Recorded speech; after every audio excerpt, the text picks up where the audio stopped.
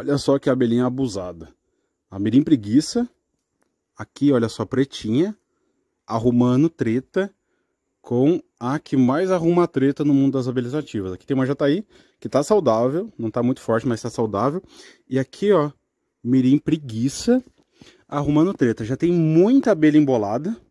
Então, mirim preguiça, fresela shroct, arrumando confusão com a grande jataí. Muita gente me pergunta o que, que é briga, né? Ah, cara, minhas abelhas estão brigando. É isso daqui, ó, abelha embolada, tá? Então elas entram no jiu-jitsu, elas são boas no jiu-jitsu e infelizmente acabam morrendo muita abelha. Essas abelhas aqui se perdem.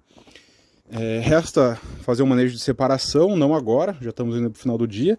Isso porque a mirim preguiça já enxameou numa guaçu que não estava muito legal, mas tinha abelha.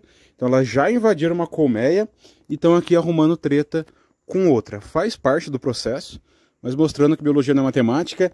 Essa é a que mais arruma treta, já está aí, mas outra veio arrumar treta aqui com ela.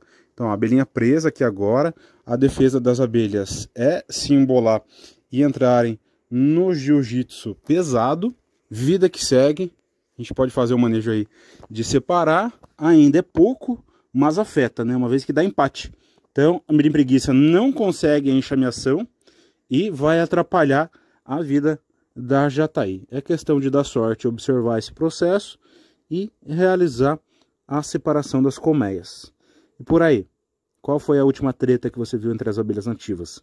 Jataí com jataí, mirim com jataí, bugia com da saia, é um comportamento que pode acontecer com diversas espécies.